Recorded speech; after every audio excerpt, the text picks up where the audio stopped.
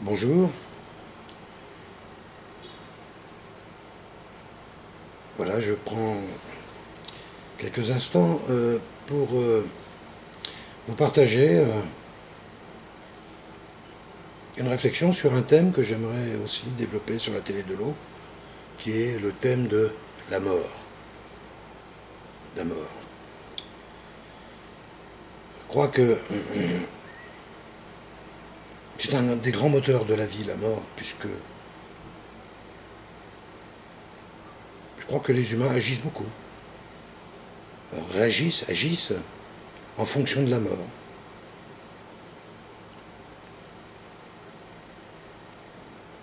Je me suis rendu compte, alors la mort c'est ça, c'est aussi, euh, un, ça c'est un des points que je voulais développer, je reviendrai tout à l'heure. C'est aussi la mort, c'est le départ, l'absence, l'absence sans retour. Ça peut être euh, la mort, bien sûr, d'un être cher. Et d'ailleurs, je me remarque, je remarque une chose que plus l'être nous est proche, plus la mort nous est difficile, plus l'être nous est lointain, plus apparemment nous est indifférente, voire même lorsque la mort se passe alors à l'autre bout du monde, c'est c'est presque anecdotique. On va dire, ça serait tout aussi formidable si on pouvait faire la même chose pour nous. Euh, ça, c'est encore un point sur lequel euh, j'aimerais exprimer ce regard-là. Alors, je ne vais pas essayer d'avoir un esprit euh, critique en disant les autres, les autres, les autres.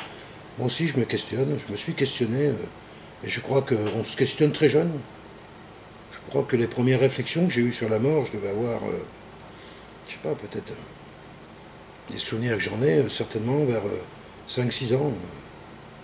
Et non pas que j'avais été confronté à la mort euh, physique d'un proche, mais certainement que peut-être d'un animal de compagnie, peut-être une reconnaissance déjà acquise, au fond de soi, ressentie par les, adultes qui nous environnent et qui nous partagent beaucoup cette, leur expression de la mort qui est bien souvent la peur la peur de la mort. Je crois que ce qui fait aussi cette peur, qui amène la peur chez beaucoup d'entre nous, c'est que la mort, on la met comme étant quelque chose à la fin. Quelque chose qui est fini. Comme si que la vie commencerait à un moment donné, donc le fameux passé. Euh, bon, j'aimerais qu'un jour on m'explique réellement ce que c'est que le passé. Et puis que ça se finirait dans le futur. Hein, donc, euh, en gros, euh, ce qui n'est pas du tout présent. Euh, on est né euh, hors de notre présence, puisque c'est dans le passé, c'est pas dans la présence. Puis on va mourir dans le futur, et c'est toujours pas dans notre présence, puisque c'est pas encore advenu. Et a priori, on utilise notre présence justement pour essayer de, s'équilibrer sur deux, axes, que sont la naissance et la mort, deux choses qui n'existent pas en termes de de, distance. Hein, euh. Alors mon regard, moi, il est plutôt d'essayer de rassembler tout ça dans l'instant présent.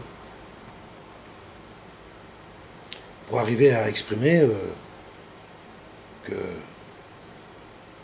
la mort, je la ressens euh, au quotidien, en permanence, elle est là. Je la ressens comme une source, de la vie. Comme si la vie s'extrayait en permanence de sa substance. Et je dirais que le jour où ma vie physique, ma vie de chair, ma vie d'homme ici, euh, viendra ne plus être, ben, cette vie ne s'extraira plus de la mort, restera la mort. Ça paraît peut-être simpliste, mais si tant soit peu que vous ayez la curiosité de le regarder sous cet angle-là, vous vous apercevrez bien très vite que dans l'instant présent, la mort est là au même titre que la naissance, que tout est là. On porte en permanence la totalité de son être, des expériences acquises, accumulées, les nôtres et pas que les nôtres, puisque nous faisons partie, notre personnalité fait partie d'un mouvement plus grand qui est l'humanité. Nous sommes avant tout des humains et nous sommes en permanence enrichis euh, de l'expérience humaine globale, qui n'est pas que la nôtre. Même si l'humanité, quelque part, du fait que nous soyons humains, c'est nous. C'est tous les paradoxes, mais qu'on peut trouver, on peut leur donner un sens très équilibré lorsqu'on est dans la présence. Si on imaginait une seule seconde un monde où les hommes n'ont pas peur de la mort, c'est-à-dire que quelque part, et on peut le voir souvent dans les philosophies amérindiennes et autres, euh, cette présence de la mort quotidienne qui est vénérée, qui est respectée, qui est, qui est, accueillie, euh, et dans laquelle on y installe, euh, dans la présence, la présence de ceux qui ne sont plus dans le plan physique, mais qui ont élaboré ou qui ont participé à l'expérience que nous sommes. Et ce qui le rend quelque part immortel dans un plan autre que celui-là physique. Imaginons un plan, un plan de vie où les hommes n'ont plus peur de la mort. Imaginons soi-même, tout seul, ne, pas avoir peur de la mort. C'est difficile tellement que ça ancré profondément dans, dans nos traditions, dans notre culture, dans notre enseignement profond. Ça remonte à la nuit des temps. Mais sans trop rentrer dans le profond du détail, imaginons que nous n'avons plus peur, que, que nous sommes morts en fin de compte et que nous passons notre vie à essayer d'être en vie, tout simplement. Voilà. Comment fait-on? La seule façon d'être en vie, c'est de, de la laisser être en soi, de l'accueillir et de ne pas se soucier de la mort. Puisque quelque part, elle est en, permanence. Elle est là.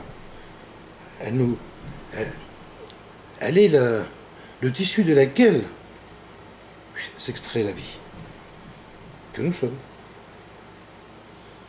Je suis la vie. Je n'ai plus peur de la mort puisque je suis la vie.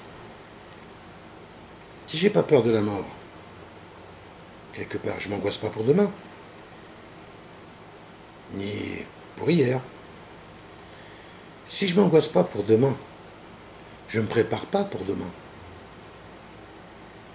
Je ne construis pas des, mondes fantasques de protection, de sécurité, puisqu'on comprend bien que la notion de sécurité est toujours une notion qui relève de demain, par rapport à une expérience d'hier, mais dans l'instant présent.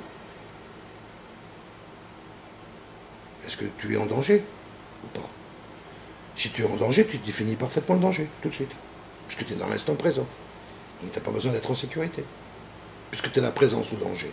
Quand tu es présent au danger, il n'y a plus de danger, il y a de la présence, qui peut être très inconfortable, certes, mais le fait de poser, d'être présent à sa présence, permet de prendre contact avec soi dans l'instant présent, qu'on peut éventuellement amener, si on regarde sur une situation poussée vers demain ou vers hier, comme un danger, qui va nous pousser à créer des sécurités, et qui patati patata, et qui finit par guerre.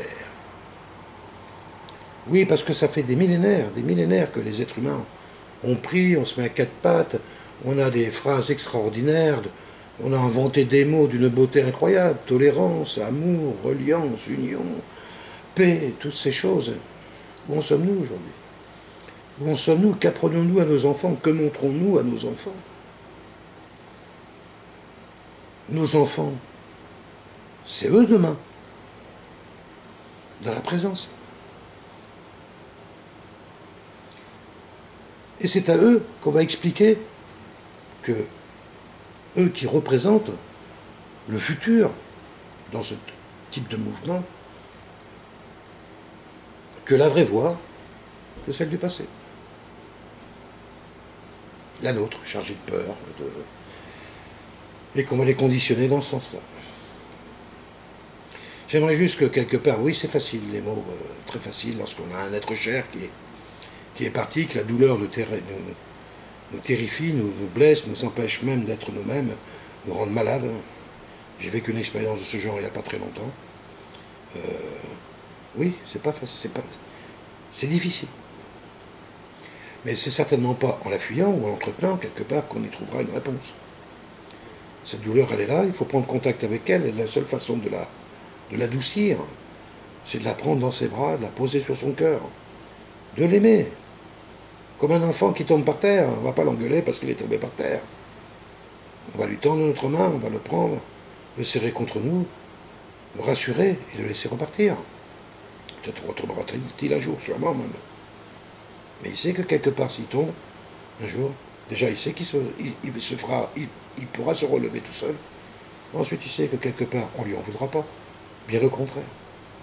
Bien le contraire. Je crois que c'est ça qu'on a à faire, nous, les, parents, nous, les grands, nous, les, les, on a quelque part à montrer à nos enfants que,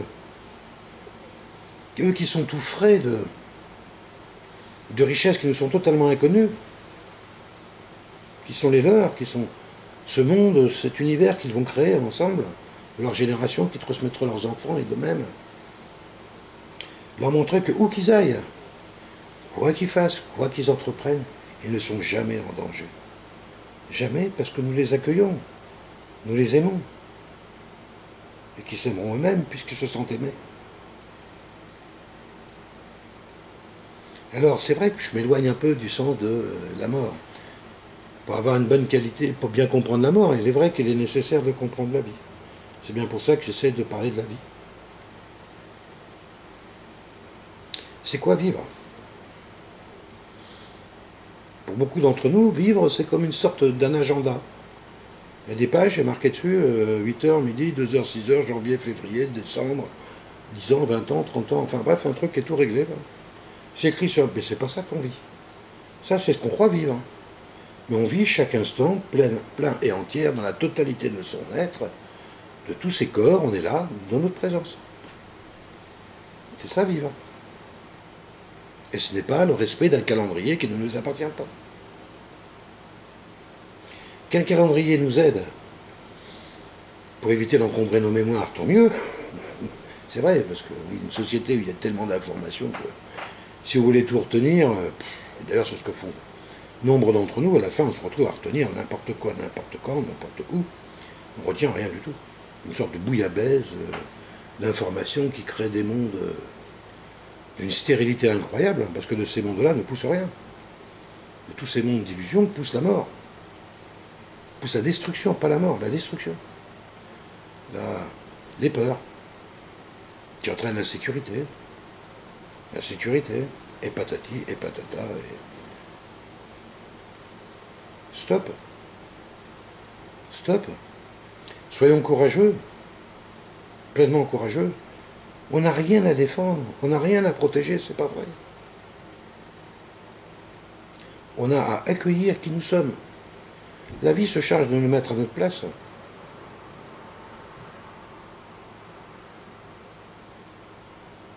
les chênes ne poussent pas en haut des montagnes, et les sapins ne poussent pas au creux des rivières dans le fond des vallées. Il y a quelque chose qui s'équilibre tout seul, les humains c'est pareil. On a tous quelque part, on participe tous quelque part d'un grand mouvement, un mouvement qui est grand. Un mouvement magnifique euh, qui est la vie. Euh, on œuvre chacun euh, avec les ressources extraordinaires que nos corps nous apportent, nous enseignent. On œuvre en chaque instant, en chaque seconde, à laisser guider la vie, à ce qu'elle nous emprunte de son, de flux, qu'on colore de notre essence, et qui vient alimenter un grand tout, qui à nouveau nous réemprunte, etc. Qui fait que quelque part, quand je me pose bien dans l'instant présent, je sais parler le chat, je sais parler l'arbre, Je sais te parler. Je sais t'écouter. Je sais écouter les messages du vent. Tout est là. On le sait, ça, au fond nous. Tous. Mais c'est pas l'agenda. C'est pas écrit dans le bon Dieu d'agenda. Hein? Il est temps que quelque part, les enseignants spirituels que nous sommes, que vous êtes, parce que je suppose que si vous m'écoutez, vous intéressez un peu à la spiritualité. Autrement, il y a longtemps que vous m'auriez zappé. Il est temps de se mettre en route sur un réel chemin de paix. un chemin de paix envers soi-même, de totale tolérance de soi, totale acceptation de, la totalité de ce qu'on est, d'aller dans cette voie éclairer nos ombres, mettre votre lumière pleine et profonde là-dedans. S'aimer.